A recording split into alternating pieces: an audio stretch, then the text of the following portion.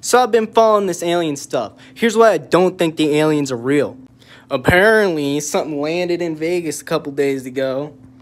And apparently, these aliens landed on somebody's property and started, you know, looking in their house, etc.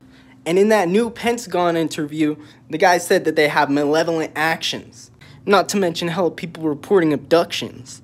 So if these aliens were real, you really think we would let them trample on us like that?